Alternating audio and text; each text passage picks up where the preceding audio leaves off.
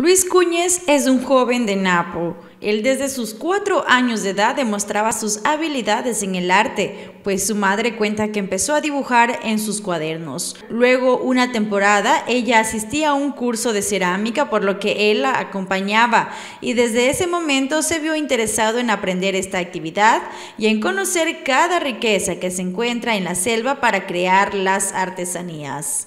También por curiosidad de chico quería hacer sus cosas y hizo una máscara. Y le gustó a una extranjera, le compró en 5 dólares. Y, eso era en tiempo de sucres.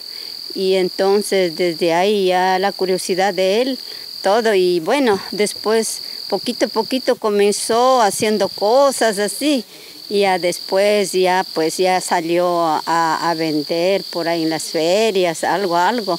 Después de haber aprendido a crear estas artesanías, él comenzó a comercializarlas por las calles de Tena, donde se dio cuenta que mucha gente compraba y admiraba los resultados de su esfuerzo. Luego empezó a participar en ferias hasta que presentó un proyecto avalado por la Casa de la Cultura Núcleo de Napo al Instituto de Fomento a la Creatividad y la Innovación, lo que fue beneficiado y acreedor de alrededor de 79 mil dólares.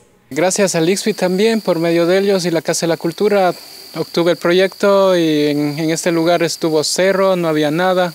Ahora está la infraestructura, la construcción.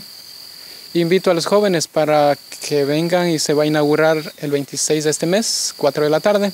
El Centro Cultural, el objetivo es aquí es potenciar el producto y salir al exterior también para que otras personas conozcan el exterior o cuando visiten los extranjeros recomienden que tenemos aquí un centro cultural de Alpamangahuana, Tejer el Barro. Con este monto tuvo que ejecutar dicho proyecto. Inició con la construcción de un centro artesanal, compró maquinarias específicas para la elaboración de las artesanías y algunos implementos necesarios, por lo que en los próximos días inaugurará este espacio y empezará con un taller para jóvenes. Entonces Luis participó con la idea que él tiene, con el emprendimiento que él tiene, participó, presentó y fue uno de los ganadores a nivel nacional. Aquí en Napo fue el que más ganó en la parte del presupuesto. Nosotros como Casa de la Cultura lo que hicimos es poder apoyarles con una carta aval para que él pueda cumplir los requisitos. Independientemente de eso, nosotros como Casa de la Cultura estamos pendientes de que el proyecto se cumpla a cabalidad.